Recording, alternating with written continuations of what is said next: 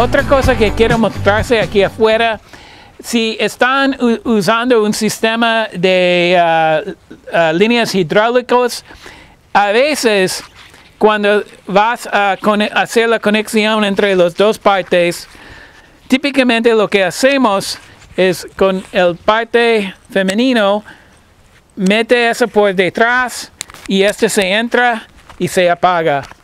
Bien duro así, fuerte, no se uh, separaron.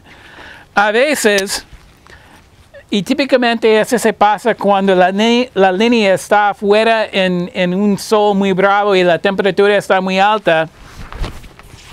Cuando tratas de hacer la conexión, no rinde. Y lo que pasa la mayoría de las veces es que hay un aumento de presión adentro de la línea y eso se prohíbe a esa bolita aquí a moverse. Lo que yo hago o trato de hacer, uh, busca, oh, I can use this, es tomo un trapo antes de hacer mi conexión. Glad this is all tomo un trapo uh, antes de tratar de hacer la conexión y tocarlo a ver si la bolita mueve. Si la bolita eso que está aquí en el centro de la conexión, si esto no mueve, esto no se va a conectar. Es imposible.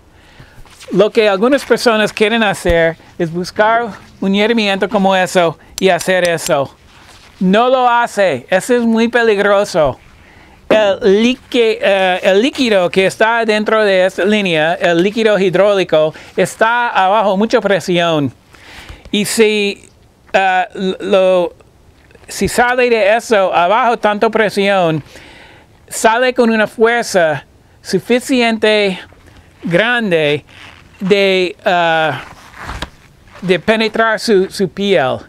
Pues hay que tomar en cuenta que si hay una ruptura en la línea o si tú tocas esto y sale uh, líquido que está bajo mucha presión, tiene la capacidad de penetrar tu piel y es muy peligroso. Se puede dar un, daño muy, muy mal que uno no quiere. Pues si esto no, si esto no rinde, Típicamente lo que yo he encontrado y se lo dejo sobre la noche y lo trato de hacerlo la primera cosa en la mañana próxima, siempre rinde.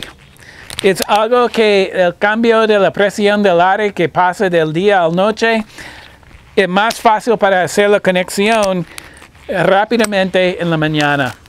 Pues si uno puede tomar eso en cuenta, se puede hacer sus planes para el monte de los líneas hidráulicos cuando las condiciones son más uh, agradables para hacerlo.